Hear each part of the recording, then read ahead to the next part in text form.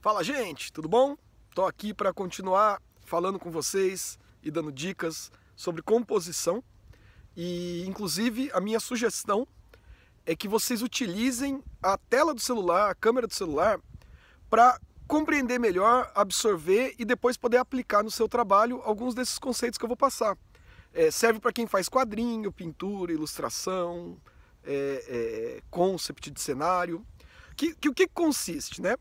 Quando a gente está com o celular na mão, a gente tem todas as opções do mundo para explorar e é interessante pensar, por exemplo, que é o que eu vou tentar fazer aqui com vocês. Ó. O que, que acontece quando eu opto por colocar mais área de respiro, de céu, em cima do elemento que eu estou desenhando?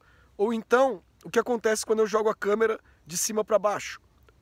Quando eu faço um close e jogo o cenário para cá ou para lá? Ou então quando eu afasto e deixo uma área de respiro em torno aqui da minha cabeça, é, todas essas escolhas elas são válidas, mas a gente tem que entender que tipo de, de impacto que isso cria na, na, em quem está observando o nosso trabalho. Então, quando eu estou fazendo quadrinho, eu estou sempre pensando aonde está a minha câmera, o que que esse enquadramento que eu escolhi vai criar de impacto para a pessoa que está lendo a minha história, certo?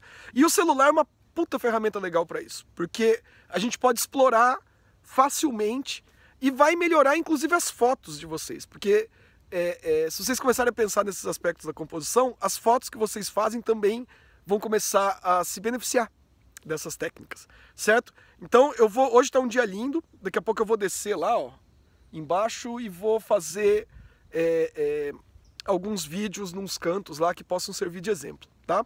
E quem tiver curioso aí, quiser ver mais coisas nesse sentido, ou quiser ver eu falar de um assunto específico dentro desse tema composição, paleta de cor, narrativa, manda aí nos comentários que eu vou tentar responder as dúvidas. Beleza? Tamo junto.